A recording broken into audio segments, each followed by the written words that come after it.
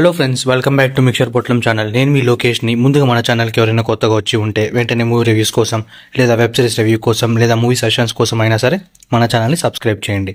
ఈరోజు movie review వచ్చేసి G ఫైవ్లో హిందీలో రిలీజ్ అయిన the signature starring Anupam Kher one hour thirty five minutes run టైమ్తో release అయిన ఈ మూవీ చూశాక నా ఒపీనియన్ వచ్చేసి బాగుంది అండ్ నాకైతే నచ్చింది కూడా. ఇలాంటి మూవీస్ అప్పుడప్పుడు మనం చూస్తూనే ఉండాలి.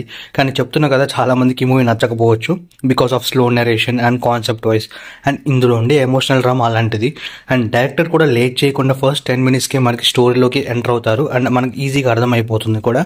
Of course though film is majorly dependent on actors performances కొన్ని క్యారెక్టర్స్ జస్టిఫికేషన్ ఇంకా బాగా చేసి ఉండొచ్చు అనిపించింది నాకైతే. లిటరలీ అనుపమ్ కేర్ అయితే ఇచ్చి పడేశారు. And climax portion is unexpected and leaves you tears movie is all about ఒక మిడిల్ క్లాస్ రిటైల్ లైబ్రేరియన్ అయిన అరవింద్ అలియాస్ అనుపమ్ కేర్ తన వైఫ్ మధుతో కలిసి యూరోప్కి వెళ్దాం అనుకుంటారు. సో ఎయిర్పోర్ట్లో వాళ్ళ వైఫ్ సడన్గా కళ్ళు తిరిగి పడిపోతుంది. అప్పుడే తనకి బ్రెయిన్ హ్యామరేజ్ ఉందని హాస్పిటల్లో డాక్టర్స్ అయితే కన్ఫర్మ్ చేస్తారు.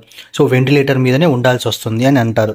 అయితే దానికి అయ్యే ఖర్చు మనందరికీ తెలిసిందే. సో ల్యాక్స్లో అవుతుంది. సో అరవింద్ ఆ మనీ కోసం ఏం చేస్తారు చేస్తాడు. అండ్ చుట్టూ ఉండే క్యారెక్టర్స్ అండ్ సొసైటీ ఆ సిచ్యువేషన్ ఎలా రియాక్ట్ అవుతుంది? అండ్ అతి ముఖ్యంగా మనకి బాగా కావాల్సిన వాళ్ళని అలా చూస్తున్నప్పుడు ఉండే పెయిన్ అది ఊహించుకుంటేనే చాలా ఘోరంగా ఉంటుంది.